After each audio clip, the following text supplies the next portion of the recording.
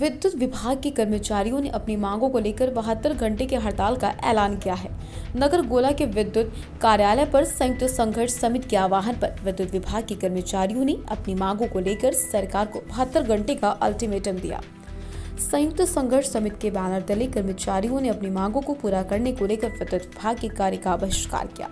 संयोजक वरुण सिंह ने बताया, सरकार विद्युत कर्मचारियों के हितों को अनदेखा कर कर्मचारियों का शोषण कर रही। अपना मांग पत्र भेजकर हम शासन तक अपनी बात पहुँचा चुके। सरकार हमारी मांगों को पूर्ण नहीं करती, यह हड़ताल कार्य बहिष्कार जारी रहेगा। विद्युत कर्मचारी व कार्यालय ने शासन के विरुद्ध नारेबाजी की, कर्मचारी एकता जिंदाबाद के नारे लगाए। आंदोलन में कोई भी अनहोनी न हो, जिसके चलते पुलिस प्रशासन ने सुरक्षा व्यवस्था के तहत पुलिसकर्मी तैनात किए। लखीमपुर खीरी से अंकित वर्मा के साथ जिला ब्यूरो चीफ पवन सक्सेना की रिपोर्ट।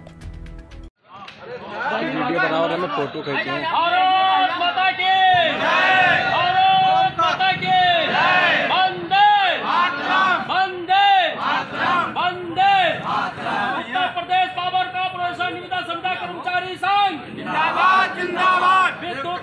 विद्युत संघर्ष विद्युत संघर्ष समिति जिंदाबाद.